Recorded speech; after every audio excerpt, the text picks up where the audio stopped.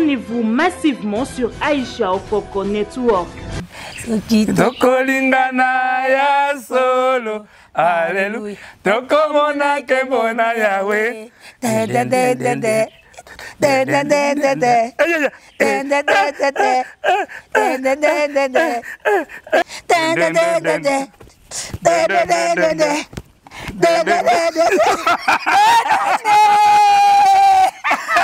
Abonnez-vous massivement sur Aisha Okoko Network. Pourquoi pas qui pasteur de la foi Parce qu'on a fréquenté à Bamilé la Baroté.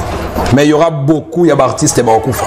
ndeti dernièrement na oprie nazwi message batieli papa na nga oyo ya, ya artiste à danger poison chaka kongo pa, papa chaka kongo mm. papa keba baza misato baza misato kwana baartiste comédien wana baa misato oyoki eh? nayoki message ba misato baisoko koyobenga bango baya na poison ngo na mela yango na lia yango abonnez-vous massivement sur aisha okoko network nalandaki ndeko na ngai elumbe palobaki oh, yo okende na batombe no wana loyi amoni batombe wana eza elengi mpo na ye papa elombe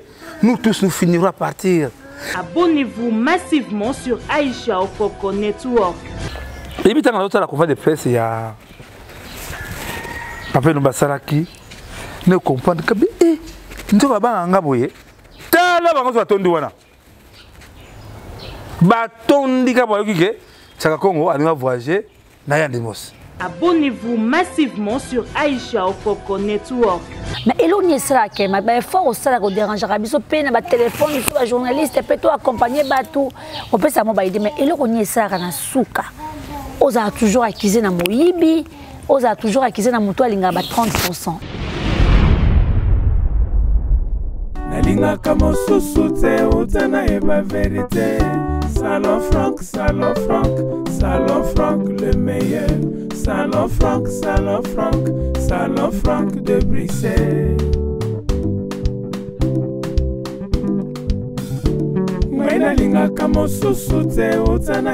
Je fais appel à vous le grand homme, le grand dame, ainsi que les enfants. Venez visiter le spécialiste de la coiffure, Salon Franck, le meilleur de Bruxelles. 30 ans d'expérience. Chez nous, c'est le professionnalisme, la classe et la qualité. Salon Franck, Salon Franck,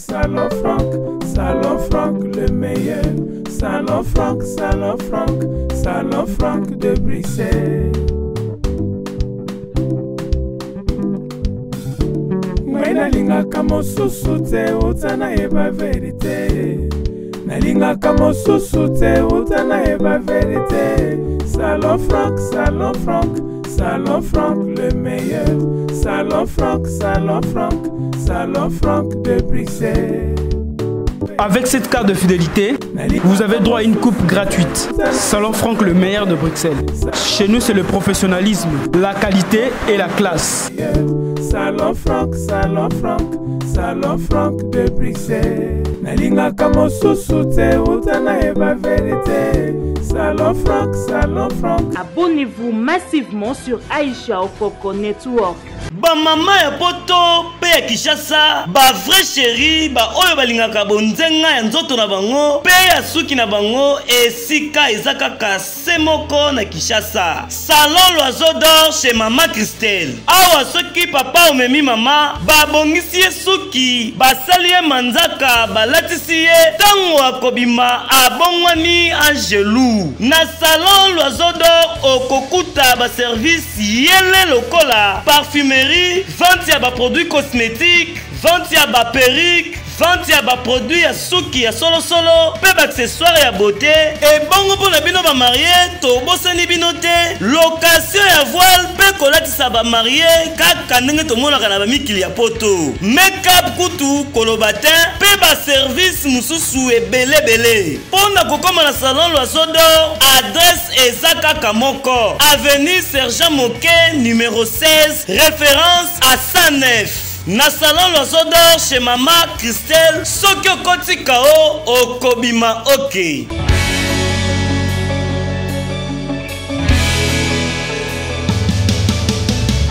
mbote mbote bandeko batali ya network mbote bato baza kosabone massivement na kati ya awen topesi bino mbote mingi bisika bozali tozali lelo lundi le 27 hein, le 27 décembre 2021 donc euh, topesa nzambe merci Merci pour abateli biso azokomisa biso il nous reste que 4 jours non 5 jours pour tout cette année 2021 yango vraiment comme na ane mobimba azalaki na biso apesaki biso baactualité ba ebele apesaki biso makambo ebele ebele tolinga toclotire mpe se ya nzete na biso na 2021 awa na ba janvier février ba surprise eza ebele mais yango toyambi bino papa chaka congo azali invité na ngai lelo tokosola nde makambo ebele ebele ebele lelo napesi mbote papa chaka congo ah, chaka mbote te ah, ozo moto azopimela mbote faut comprendre mama te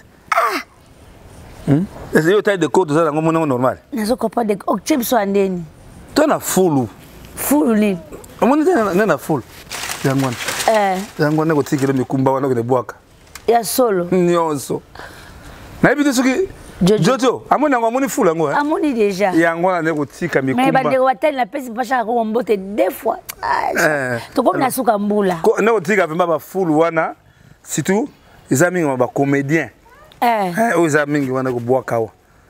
obwakela obwaka yango na ebale kende ba 2022 mhm. mingi oyo babelaki nzambe te beba nzambe mhm. ma fille d'abord naye koremercie yo so nayaki awa merci papa merci parce que lelo ndenge sandra bumba ndenge alanda kuna aniston Ale Bumba,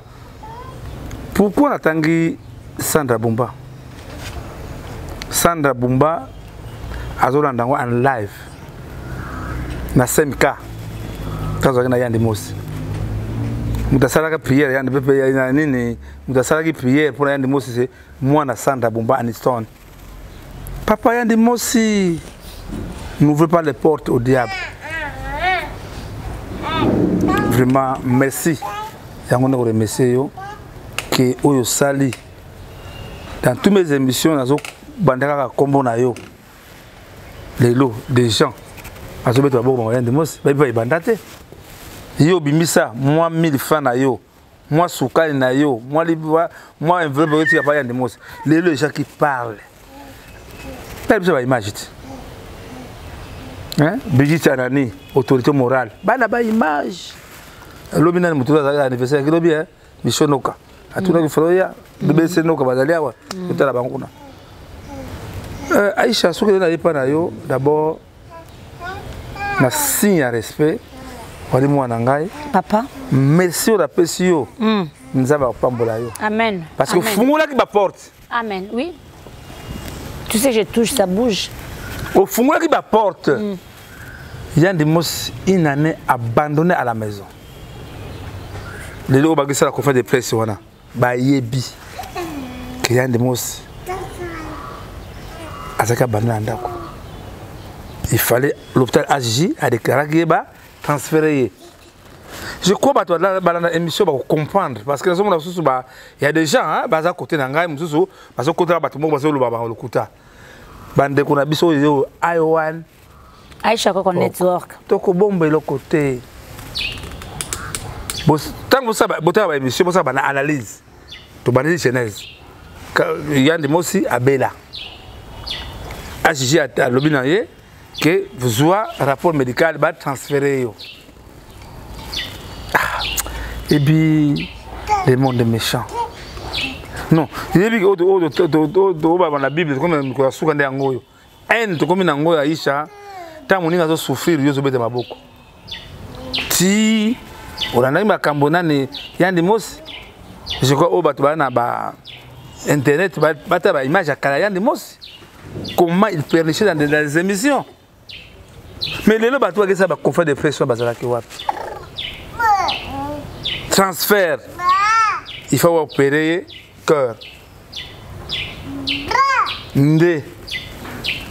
ndeko na yo olingaka mingi niketi lelo niketi lelo oui abi papa chaka oninga na ngai antenne ah abi ah, eske papa yeni bozazobela ngapi ah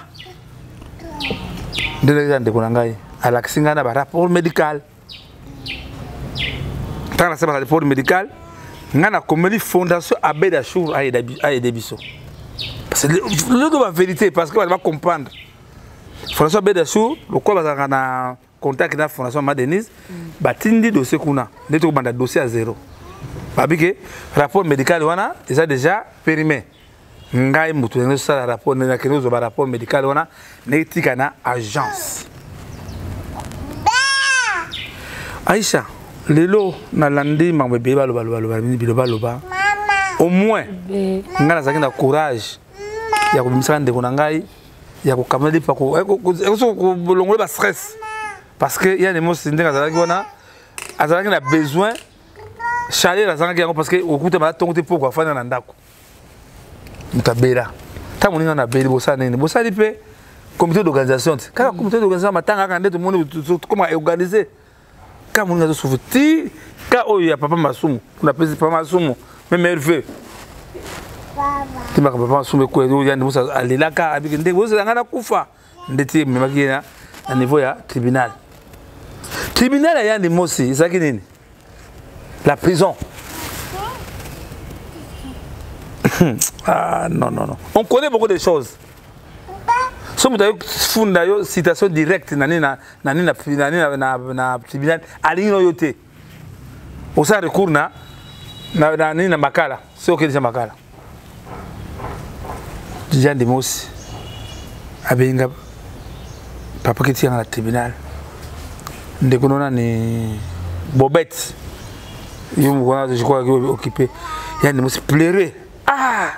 nasala bango nini babomba nga boye nazobela vraiment bobeti ya rtncd bobeti euh, nini ya internet kaka ko Ah, bobete ah. mm. nasali bango nini baimage ezali j'ai des photos so natindi yango yani nazobonda yani mosi courage courage courage mais lelo yani mosi est devenu bon mpo na bango tozalaki incapable otala moninga nde tozwi na fondation tokendaki kuna bapesi biso eh, bapesaki mbongo bakendizwa bapasseport mm. nga moko na yande mosi na aner aner ti bapasseport ebomi batindi yango na agence na agence ngai moto azokenda yande mosi toketinda nani na ambassade tokenda nini na ambassade wana mpa batindaki biso mpo na visa ngai na mwasi na yandi mosi comédien moko te oyo biso bazalaki na, na coupe de presse wana namonaki bango te tolongo wana esika je crois euh, boya mabe mpe te esi obungisa motu déjà na famille Oui, ma grande sœur aînée. Voilà. Mm. Moni pasi ndenge salaka. Na yeba betile le zalaka. Na voilà. Loba bombe lo sango wana. ya ndimi ozalaki ezwa passeport ye croya ke azwi visa arrivant ntango afungoli passeport basali refus ya voyage esika ya ndimi ozali kosala rechute soki ozalaki na ya ndimi dani bokombela dani bokombela ayebi dani bokombela yebisa bisaka toketala ya ndemose mokolo ya ndemose akobima ta libanda te nga dani tokeza azoka nsima azonga nsima natali ya ndemose mbala moko nzoto échange un dimanche tokei na ya ndemose na nde atambwisaka ye ngai ya ndemose kita nano akotambola kombe te akoka suku te mpe mazokomprendre moto biso bezoyebi ke moto oyo que ça ne va pas nde tokozwa appel appel ya ivipan que ndeko no shaba mpo ngai lipasa shaba so omoni bamundi na biso nde bamokozanga balipasa que shaba aza na urgence na ngalema nde yani biso bino papa tokotala moninga nga ntango nakiti na toke docteur abimi abisaka azala moke tozo benga yo après ça ba yo kufa on doit kila ya limos po ba lobi voilà ça la congo da publier ba image na manga ça keta na caméra te en wana na ta ka première mission ya ya bande ko masasi ya ndeko ya ba ya shaba moi ça eh masasi alobaki ça congo akoma wa te tiaka kongo kongo masasi nzoka masasi mutu nanga pire tino comprendre nga bien jojo jojo yebi jojo kabarame na yo oui abomba image moko boye soka mosusu osenga yango eh. mm. prophète moko aprophétisa banda makambo kaka kutu ye kutu moto ya liboso te na matanga mama shako baza sikoyo eh, papa nini bana ndeko moko boye aza mpe mosala na nzambe mm. abe ah, papa attention avec les comédiens ils vont te tiller attention meme nani mama ya losanzo mm. azwaki mbasu mama oasi mwana moke te soki moni ndako soki moni famille bakufelaka babwaka na bapoison wana famille malamu te monsieur le comédien euh, la mort est près de le poison est près de senga no senga na mwa image yanga moke eh? senga nanu toza baba mwana ngona ok merci beaucoup jojo okobalanse biso image ya prophète ndenge apesaki prophétie mpo euh, na papa chaka kongo mpo tokozonga ngai mpe naza mituna kotuna o pourquoi bayoki pasteur de la foi te parce nga na fréquenta bamilie na bango te mais y aura beaucoup ya baartiste bakokufa ndeti dernièrement na oprie nazwi message batieli papa na nga oyo ya artiste à danger poison chaka congo pa, papa chaka congo mm. papa keba baza misato baza misato kwana baartiste comédien wana baa misato oyoki eh? bamisato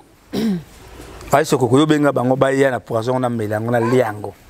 parce que Mais... je le dérange mpo lelo bato bayeba bien conflit ya ngai na bakomeli euta wapi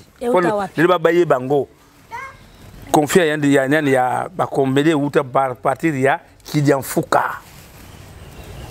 kidianfuka kufa likola 10 300 francs congolais aza se mabele Irène mwana kidia oyo aza na France ma copine Irène alikuwa na kata bureau ya ministre mm. Irène Makesa kweya nana fait revoiser nana fait dépasser nani euh, kidia fuka c'est moi Doudou Ngafoura nasala ba demarche ya dolonga fora c'est moi bazalaki wapi lelo alandaki ndeko na ngai elumbe palobaki oh, yo okende na batombe no wana loye amoni batombe wana eza elengi mpo na ye papa elombe nous tous nous finirons à partir ntango bandi alasa danger na oleka baninga na ngai bakende bakenda wapi c'est le comédien moni groupe moko nini euh, chaîne moko ebimi na canal plus maboke maboke mais c'est lombe s'il vous plaît bolakisa biso nde boyaki na reno wana na conférence de presse bolakisa biso là où repose maboke ngalema Mais papa Chagon, je pense que c'est pas le moment parce que na Non non non non non parce que maman, maman c'est la chose. Ma fille, on doit dire merci na fondation. Ndenge papa papa na. Disons maman, maman parce que non parce que ba landa kina no ba lobaki wana photo ke malem malem. Hmm. mama biso tokokende mama monoko groupe sala yango te mm. tobe ebunga ebale mondial tombe eza ebale mondial ezali nani ndeko so mondele ndombele dia comédien tombe ebunga na nini na na kitambo te ebele ebunga mais c'est l'histoire parce que nalobango souvent ma fille atisa en danger ekokana anptc te ekokana imiko te ekokana pakoseko te ozopanda eza ndenge moko te parce que biso koko eh, na biso eh, azosepela koko na ye koko zela zela koko naloba nanu ozopanda mm. lo chaque association eza na but na objectif na yango asa danger bato ayeba lelo ezali but mpenza kodefendre tous les cas malheureux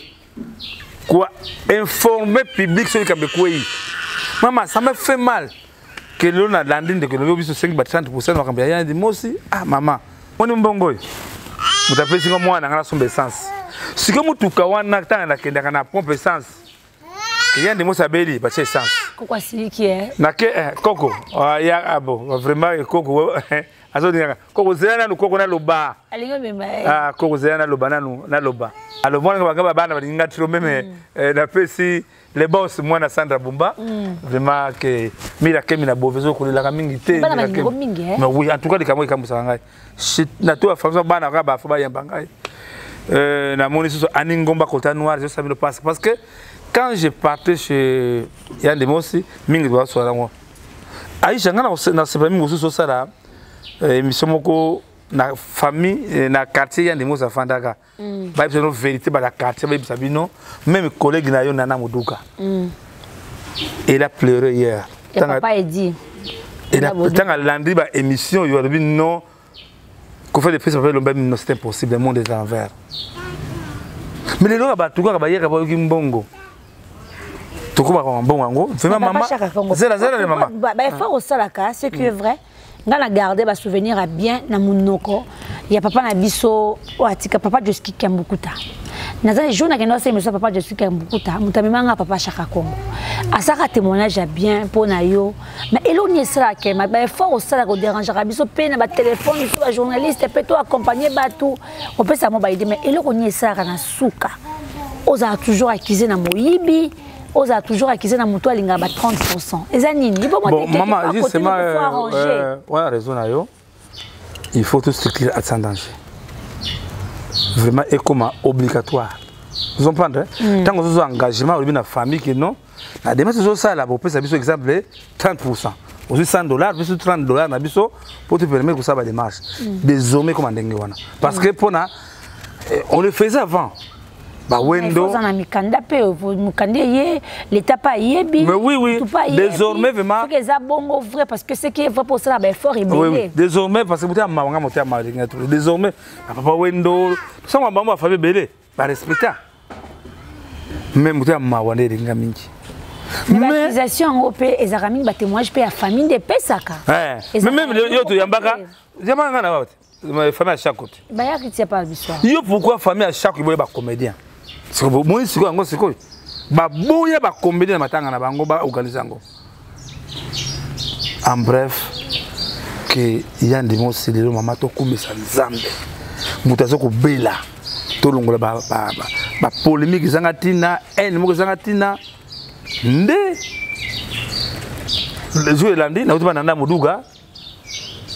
non toujours tokuti na tolongwa tokuti na hôpital nazwaki toremaki ya ndimo ça ne va pas toke na semika babandi so baexamen tozonga vendredi meme ntango toki bana na moluka atali vie nabi ah vie vie azobela susu wa tozongisi vie na ndako jour elandi esi moko ça n'allait pas ngai miyaki tala yande mosi mama ma fille nakuti yande mosi tosini bato pango bato tia ba fixe ba nini pema zo comprendre moto biso beza pema ah, nabengi cardiologue ya snk ngabi ah docteur yande mosi ça va ça ne va pas abi papa na j'ai des messages abi yaka na ya ndenge osala urgence meme naza te je vais laisser euh, les instructions mwasi ya yande mosi mami julieka bango oyo mwana wana parce que lelo dieu merci makambo ya yande mosi ya aussi de commune na kati change chaka tipamba na julieka bango oyo totambola bango soki 30 bosa wana soki yango soki yande nani elombe alobaki bayebi yango na sote mbango mbango mwa likambo na bosanaki yo koyebisa yo ntango bademarche ewumelaki mama moko alandaki baémission tosalaki na yo alobi je prends yandemos en charge bokende na turquie voilà baboyi bango mosusu mpona ekokomplike nanu mpona visa j'ai les facilité okenda turquie fuite d'information ekosalama ke ya ndemos akende turki biso toza na semka papa elombe aye kozwa ya ndemos na semka amemi na fondation mpo babanda soki bademarche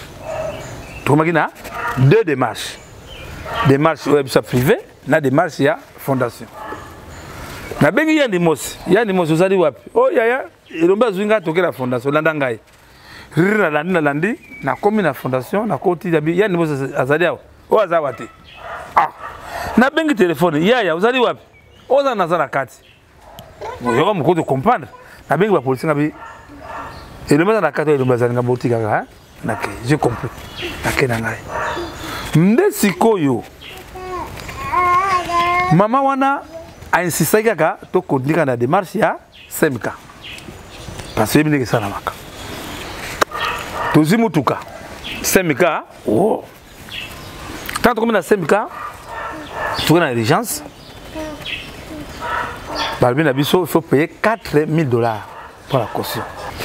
4000 dollars caution aisha tokomaki non tomoi mokili esukeli biso biso dans ce cas là tokende hg to ngalema yani musa refusa ki abinga ndingo ke hôpital ya lingaki to ke na hôpital mamu live na chip eh oui oui ya kikole wana to ke bibwa na bibwa pardon ah ngaba ya ni musa ero na butu te se to koma kuna ndenge nini nde Julien Kabangu mwa mwa mobali wana diebe kala no linganga te hein Julien wana ngade guerre mais comprendre ah papa saka nzoko sala mosala boye nzoko ezaka nde boye abengi mama wana mama wana abibopesa nga docteur l'argent que vous demandez je prends ça en charge bosoya yandi mosi azwi yandi mosi ambulance bakitika yandi mosi na sendikao ya commerce mpo basala baexamen ntango bazongi docteur ebisi biso bono moyen yandi mosi akende so ndako to garde yawa ba isoler ye ntango ba isoler ye oyaki komaki ba 4 du matin bapesi ngai mokulu nini bapesi ngai mokanda nayebi te jojo jojo ezonga fadi wana ya bleu wana ya bleu wana ya bleu ezaka likolo wana yango yango wana yango wana voilà non non non non non yango oyo Euh, voilà yango wana yaka nango omona ke oyo tolobaka biso totangwa na mikanda wali mwana ngai nakobomba likambo te nzambe aide biso tomona mokanda wana voilà yango oyo bakomi nini semka Je suis signé docteur Philippe Yazika, médecin au centre médical de Kinshasa, SMK, atteste à monsieur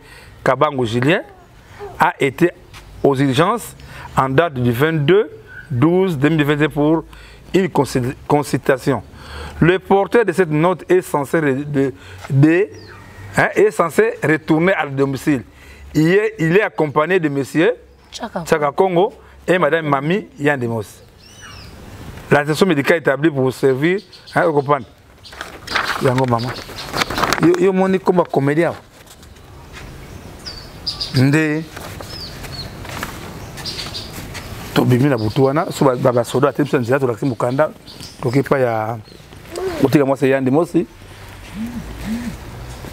tolali wana bafoto tozela tokende epai ya mama aremete biso mbongo mpo tokende futa na smk 4 5 30 tolamuki toki epai mama mama mama wana tuka nazo benge man du ciel man du ciel mama wana mama wana non nzambe apambola ye tokoti ntango tokoti abimi na enveloppe 5000 dollars abenga azo voyager vous allez payer 4000 dollars le 1000 qui reste eh, boye bande kogere ndenge ta mosusu yora eh, urgence mota hôpital parce que mbala ebosa apesa mbongo wana te yaka yango te ayebi nde tosalaka soki likambo ezali toremetaki ntango mosusu baordonnance bafa ayebi tostu transparence mama tozongi sembi kati tofuti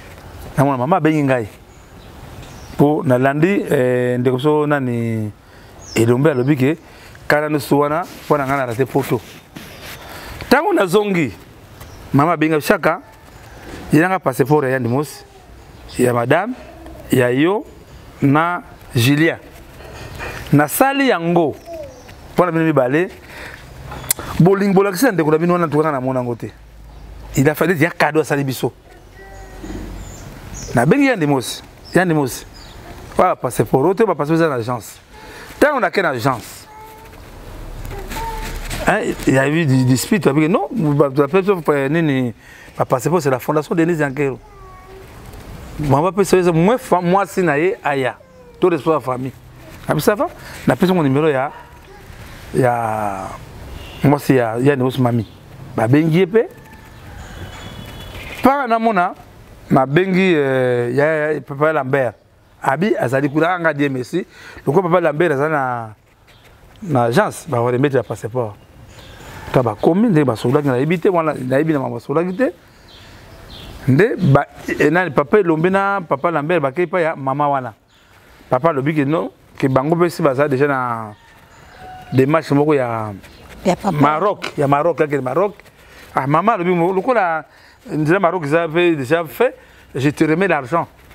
Va faire voyager. Il y a des mosaka Maroc. Bah remettre bango mbongo. Nga wana na yabi na yabi. Mais curieusement, ne mon papa, eh, papa Lambert a commis vraiment contre nga makasi. Ah, nga papa. Oh, il paraît biso ba pèse mbongo, toliaki mbongo nga papa. mbongo ozoba wana ngai nasimbaka mbongo te mama tina mbongo mpa jele tozalaka ensemble apesi biso 5000 dollars on a payé 4000 dollars na caution na 70 dollars ya, ya urgence totikali na 930 dollars tobengi mama na tongo mama mbongo basala ndenge ya papa bokezongisa mbongo wana opesa mwana ya ndema osudesnes oyo alobi ke biso balingaka elombe mingi vraiment elombe ma dessus nde toremettre mbongo wana pa ya mwasi ya mwana ya yande mosi en retour dans tout ça ndenge azoloba oyo biso oliaka nsima yande mosi nini boye parce que elombe ayebi mwasi wana bien bayebani très bien ya fondation nde nde aloba nini na nini na na nde alobaki lelo ya limosi akei afrique du sud mama apende kolala pongi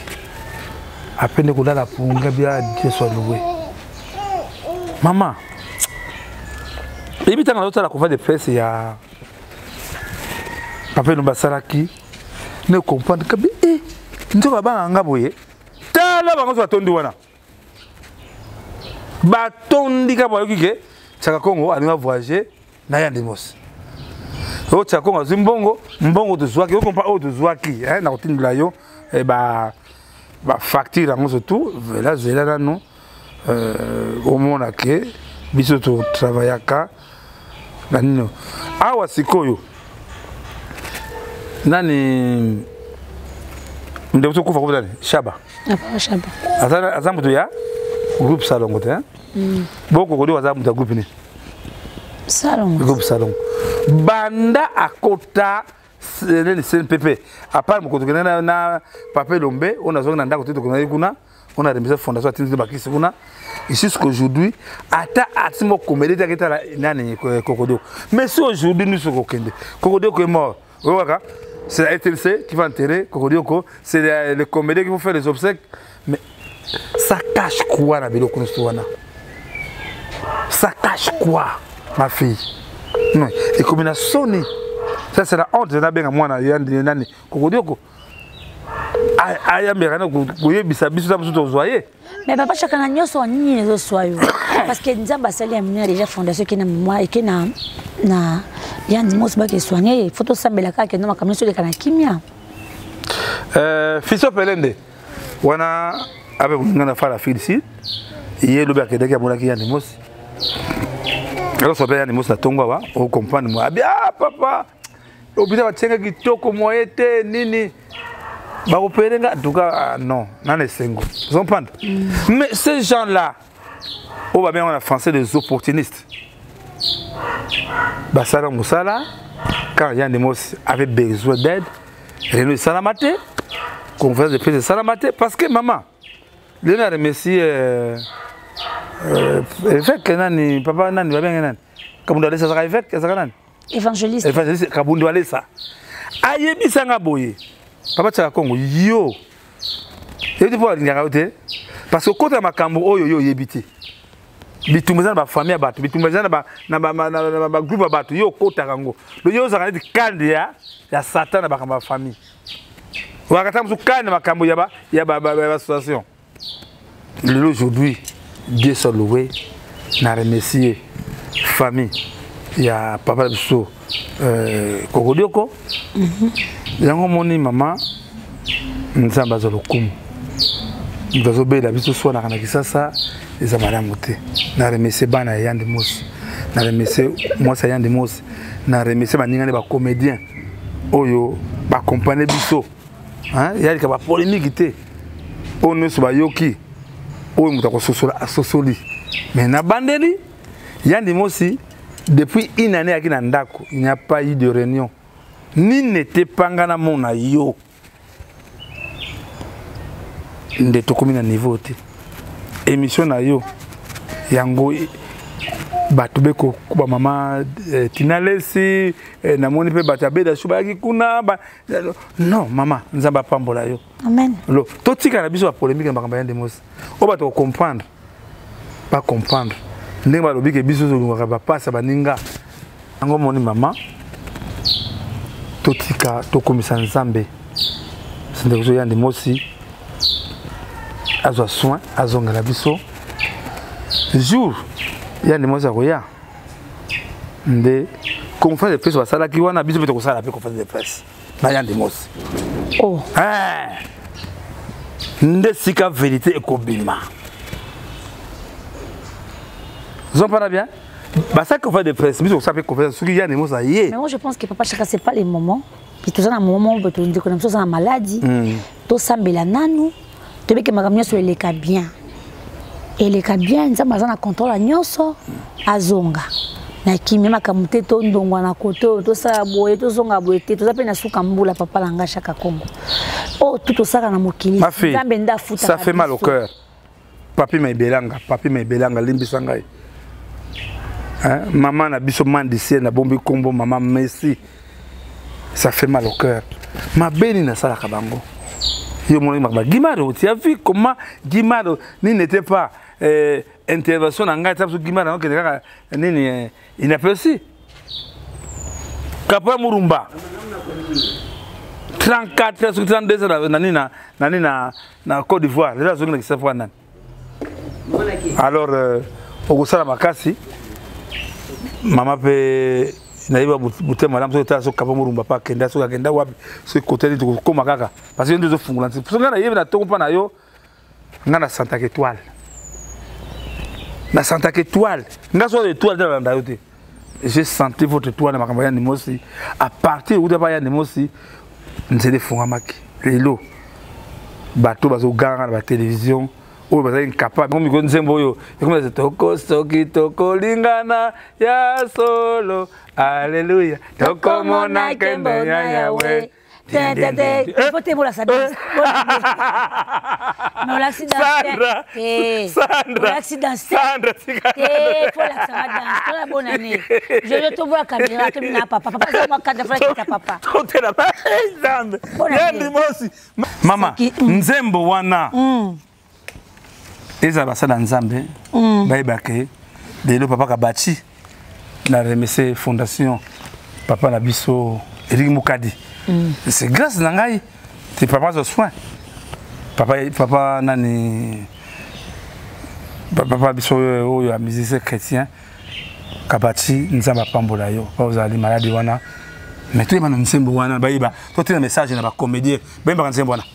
soki tokolingana yo boye boye boye mbati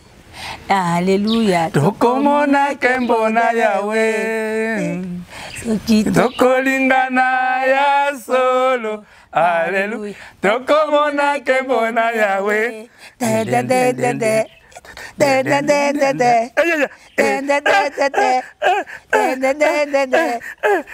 nayebi biso likambo boye eh. lelo artiste en danger hmm. mama dans tous mes émissions naloba likambo yango soki asa en danger lelo bato bayebi yango lelo c'est le sénateur à vie tout mes dossiers aza ko aider ngai mais yango esalama ebi eh, mombata jopose mombata mwasi mobala maa tete mombata ye nde akunda jopose mombata ah. na baba bolem to ekomase de la mama olive mama donc mama wana non elle m'aimait beaucoup mais mama bona yango tobinela yoka te eh, sylvie bongo mpange ya mono mwana betu mosi eh, sylvie bongo mm. soki tokolingana ne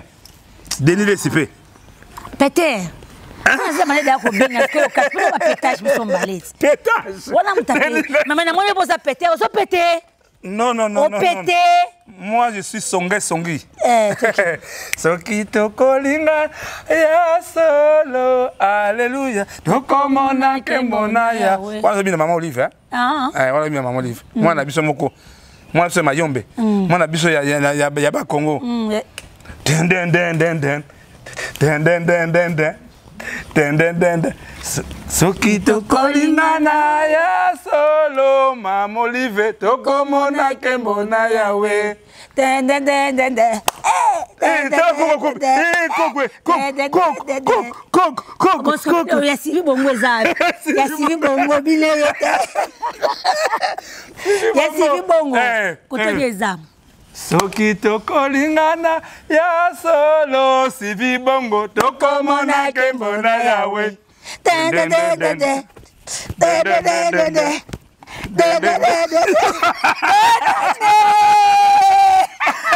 tika makambo oyo eza fete c'est la fête c'est la fête maman oui, c'est la fête on a papa elombe aza ndeko na yo non non non non non nga na kopermettre te mpo aza grand président o manke te faut dire merci bamanke papa elombe te papa elombe ali motu oyo nga na ye mo ayebi